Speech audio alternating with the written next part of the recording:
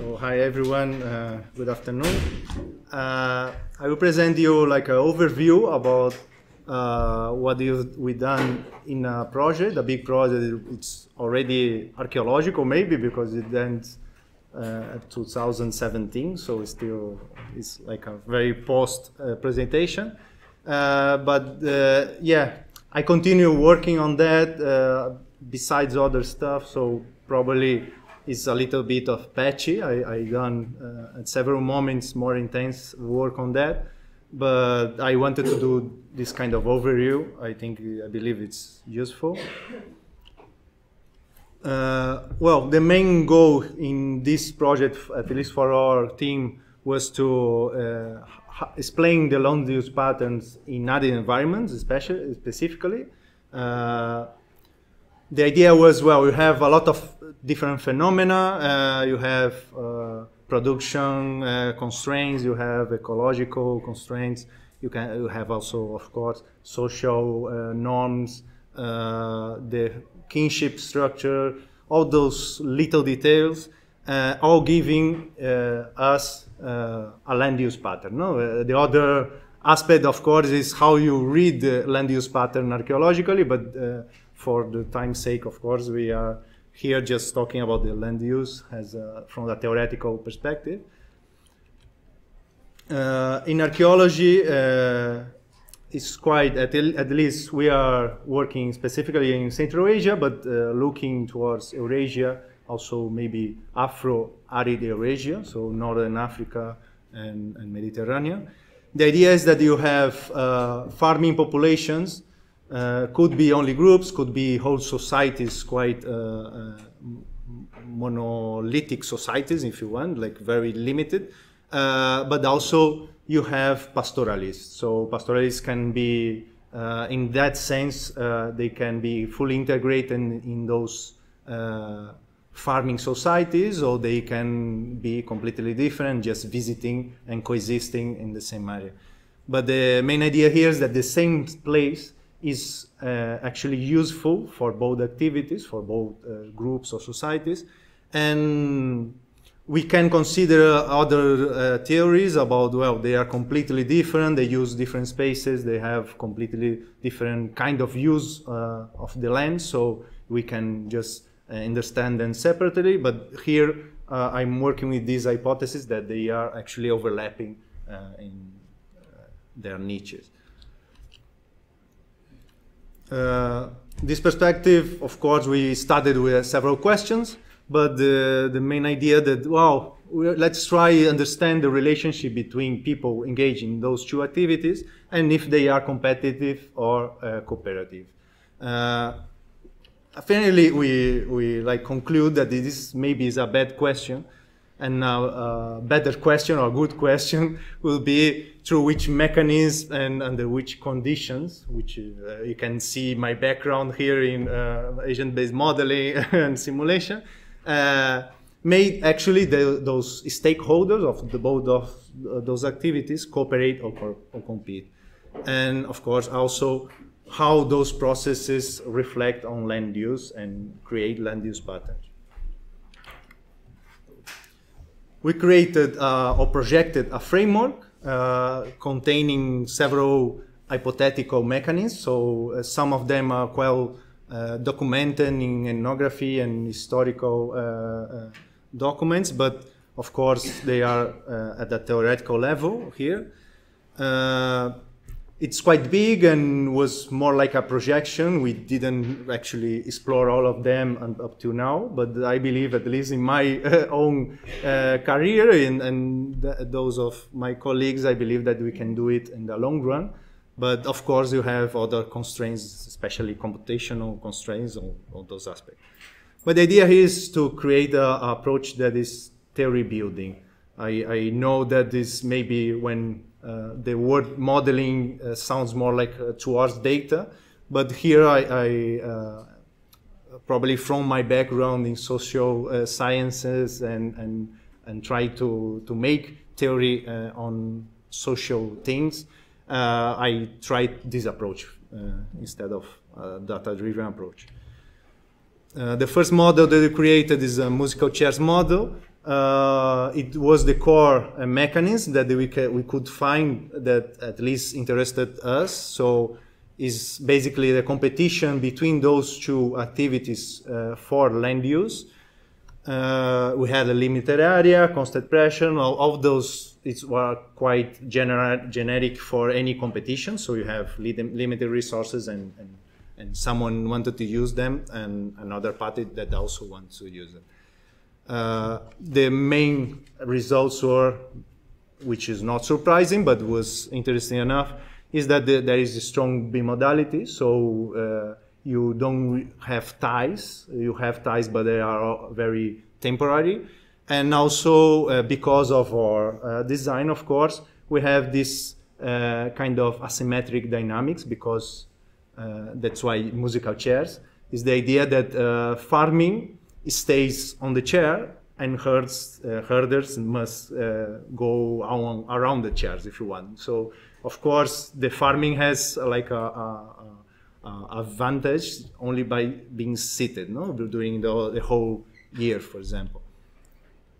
Uh, I didn't mention the presentation is online, so uh, here I have always like some references. You can you can enter it and, and check it. This the, the, that model is published uh, 2014. is quite uh, long ago, and also the model is available. So if you want to, to, to check it.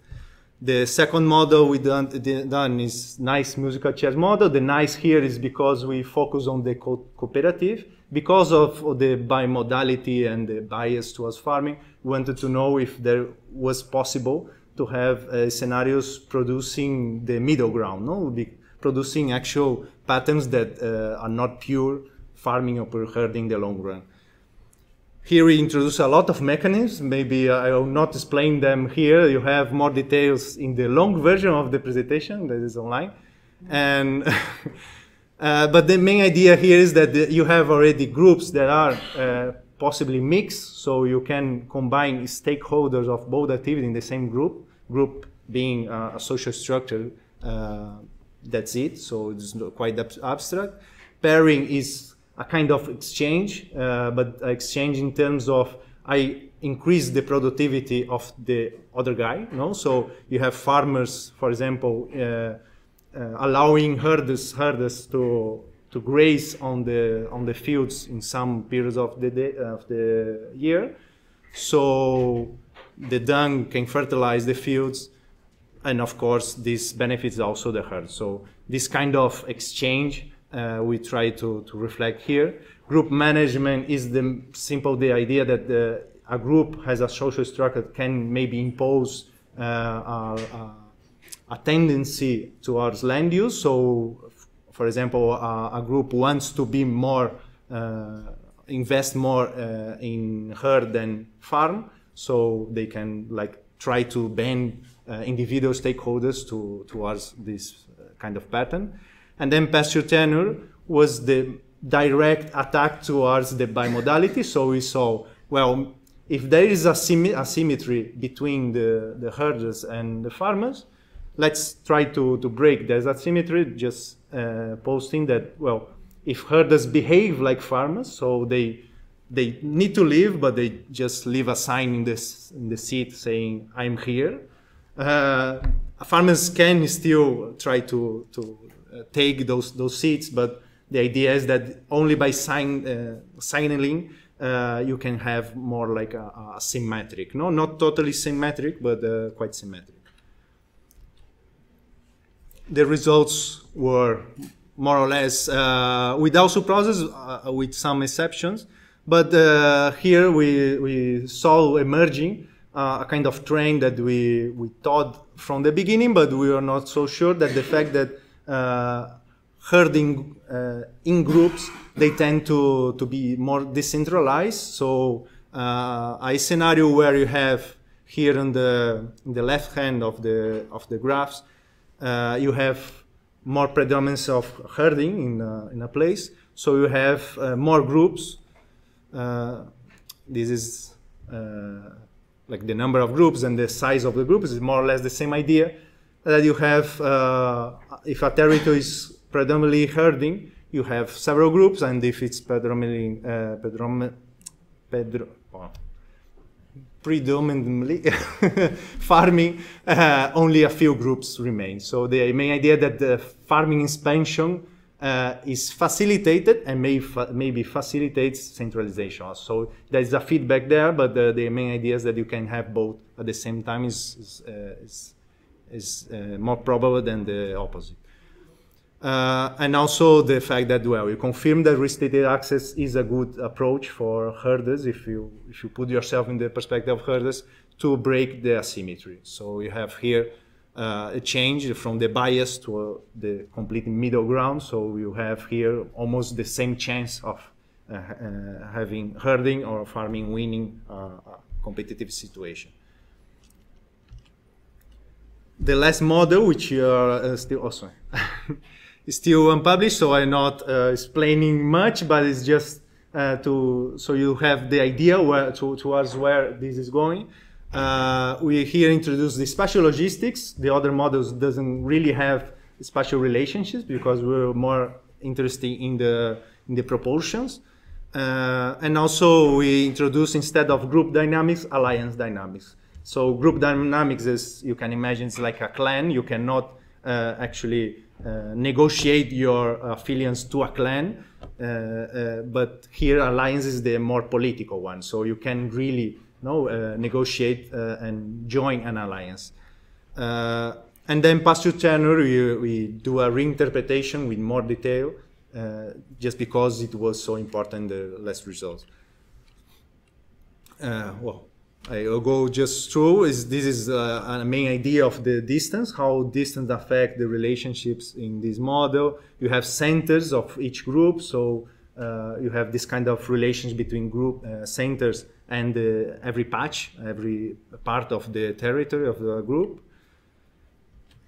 Oh, so and you have different behaviors. So the the chair metaphor here is the the uh, centers of farmers doesn't move and centers of herders do move every every year so they adapt to the new territory they have here we have a uh, this is like a, a, a, overview i'm not explaining everything but the, how alliance uh, works in this model is quite complicated, but it's not the most uh, computational uh, cost uh, costly aspect of this model. It's actually a very trivial thing, which is uh, the most delaying of the simulations, for example. Uh, but the main idea here is that you have, well, it's quite intuitive, I, I, think. You have a hierarchical structure, you have some kind of tribute that circulates upwards, and then you have some kind of influence that circulates downwards. Uh, and the important thing is that uh, Alliance allows you to, to protect these smaller units. So you can understand uh, the smaller units if they are preserved or if they are assimilated towards a, a bigger alliance which uh, connects directly to groups, for example. No? So you have this kind of different scenarios. Uh, and here is the reinterpretation of the pasture tenure. Instead of having just a sign and an absolute saying, this is mine, uh, we have like kind of more archaeological approach in saying uh, the center of a herding group leaves something or modify the landscape in some way that communicates uh, ownership or, or at least uh, kind of, uh, of property related to this land which is more more diffuse because you also apply this kind of distance effect. So the the longest uh, the territory, uh, the more marks you need to have to preserve them. Okay, the main, main results is surprise alliance doesn't make much difference, which is uh, a kind of disappointment because alliance was a kind uh, of when you're modeling you are expecting a lot of uh, uh, complexity emerging from that. But uh, in terms of land use it doesn't really affect it. It does affect other stuff so uh, but which also is interesting is that the fact that if you have land tenure like absolute you can have the result that we have in the other model a very different result from the not having any kind of property. Uh, but here, since it's much more diffuse, you have I don't know if you can notice, you have like 500 uh, simulation runs different. So it's it is important, but it's not so important than the the last model. So the main idea is that it still is quite bimodal, and the middle is more or less populated, but is less uh, probable than the streams. So here's just a representation. Uh, the topography is very important from the cent of the centers, and we could control that uh, with the parameter that constrain the position of farming centers because are the ones fixed. So the more constrained they uh, are those centers, uh, the the easier are for for herding. So if farming is just in one very small area, herders can distribute more easily because they can move and then they just surround uh, the farming area. But if you have very diffuse, very less uh, loosely constraints on farming centers, uh, they will like populate all the area and herders will be like uh, smash between the areas of farmings. You can, you, I have some images. Uh, also, here's this main idea that we confirmed from the other model that uh, less centralization uh, tends to, to be herding territories. So we have, in here, you have more alliance or more groups uh, present than in farming kind of uh, localities. So here just uh, uh, overview for you see some simulations. In those cases, you can see the how the fact that they can move uh, actually is, is not advantage in terms of in the long run in the competitive uh, aspect because they are just uh, corner in you know, from the expansion of all the farming centers. And also, which is interesting that the, there is almost non-extinction uh, of centers of herders. So even though they can compete a lot, they will not uh, eat themselves, no, uh, the territory of the others. While farming centers, if you do concentrate them, you you got that the the orange crosses here are extinct centers, farming centers. So they just lose all the territory to another, normally another farming center, which is, uh, I believe, uh, quite interesting aspect of the spatial uh, relationships. So in general, here is uh, is a very long journey, a lot of modeling. at the end, a little bit disappointed about the alliances aspect but the alliance aspect do, did uh, allow me to, to see that the decentralization aspect of uh, a herding society, if you want, it's, uh, it has a very robust base in several aspects, not only one, because uh, the second model, for example, doesn't have a space. So it's just the fact that they are moving and, and leaving their territory and then coming back and needed to compete with people that are in the territory the, all the year round uh, makes this happen. So less group pastoralists, no, more groups pastoralists, less groups centralization. Normally, one single group survive in most simulations or, or with all farming. So this is quite, uh, I think, a result that's quite robust. And well, also that the fact I, I saw that uh, reflected in several publications on pastoralists is the fact that uh, pastoralists do need to to like behave uh, uh like proper private property uh, that pastures are from them and not uh, anyone else. So they can have communal grazing areas, but the fact that that grazing area is from one group or at least one alliance, no not for every, anyone. It's not open access. And that's it. Sorry about the time.